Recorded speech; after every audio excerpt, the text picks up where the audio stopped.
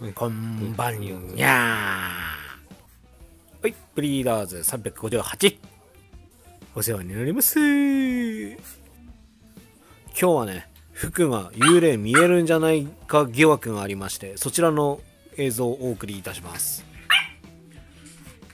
いつもこの時間帯に、そっちの窓の方を向いて吠えるんです。で、ほら。これね、何か、で、その先には何もないんだけど、何か、幽霊でも来てんのかなってずっと思ってたのよ。これ毎日、この1週間、この時間になると絶対吠えるみたいな。謎が解けました、やっと。さあ、こいつは一体何こいつの目線の先に何があるのかでででででででれん。そう。窓に映る自分に吠えております。目線がさ、若干ガラスの方向いてるの、なんとなくわかるかなこう、上の方。上に自分が映ってんだよね。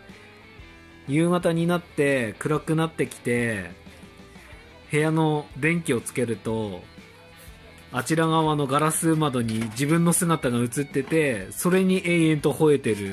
ほら。ね。丸も俺も何事かってことだったよな、丸。ねえ、絶対幽霊いると思ったよね、丸。ええええ怖かったね。怖かったない。おい。幽霊出るなんて怖くねえか、丸。うん。うん。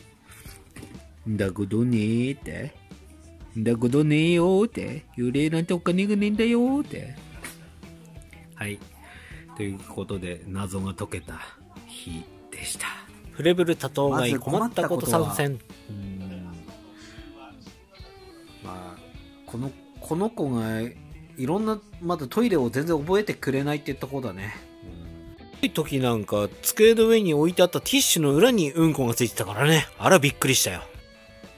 はい、次。はい。常に何かが散乱しております。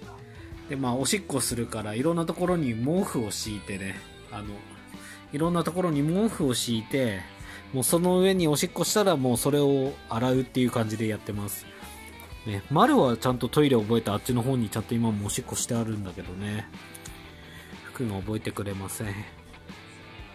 なんだかんだ困ったこと探したけど、あんまり出てきません。っていうか、最高に面白い一日が過ごせます。多頭飼い最高バイバイ。